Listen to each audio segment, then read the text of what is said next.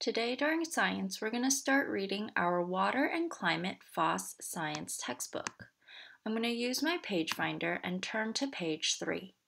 On page 3, we're reading a fake report written by an alien, this guy. He's seeing planet Earth for the first time. Here's a view of the Pacific Ocean on Earth and a view of the Atlantic Ocean on Earth. If you were seeing Earth for the first time, what do you think you would notice? There's a lot of what color? A report from the Blue Planet. 2. Chief of Science, Home Planet. From Interplanetary Science Office, Fleet 2087. So, this is obviously a fake report, but it's going to give us an idea of what it would be like to see Earth for the first time. Greetings from the blue planet mentioned in my last report. We have been exploring the planet as directed. Now we know why it looks blue from space. Almost three quarters of the planet's surface is covered by water. In all our planet explorations, this is the first water planet we have discovered. Here's what we have learned so far. 97% of the planet's water is in its huge ocean of salt water. Our first view of the blue planet was almost all ocean. When we flew around to the other side, we saw that there is dry land too. So they must have seen the Pacific Ocean at first, and it looks all blue. From the Atlantic side, you see more land, but the majority of Earth is covered with water, salt water to be exact.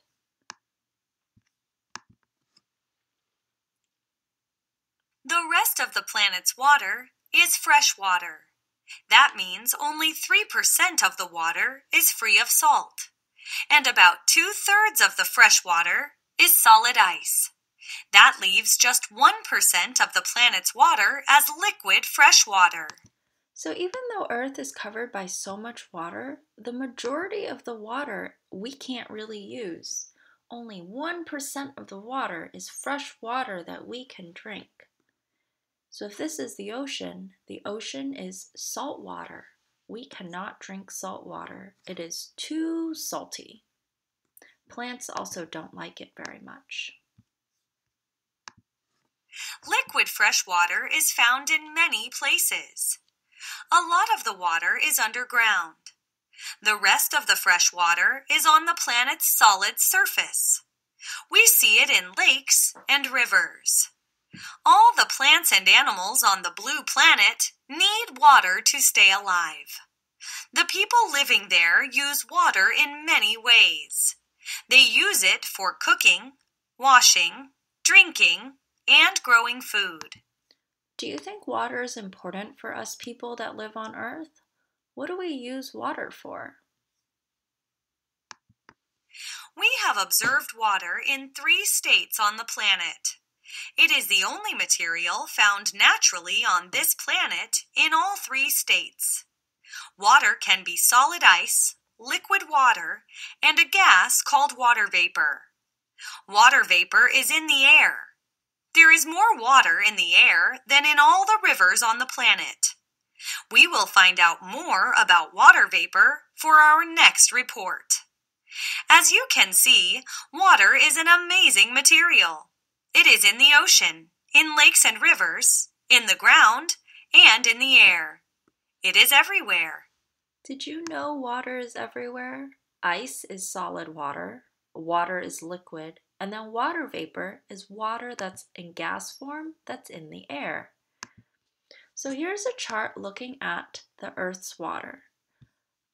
Almost all of it is salt water, 97%. The rest is fresh water, but 2% of that is ice, and this is the 1% that's liquid that we can use. Here are some pictures of water on Earth. Did you know water looks blue because it reflects from the sun? Water is not actually blue. So the 1% of the water we use is liquid, and it's in the Earth's lakes, rivers, and underground called groundwater.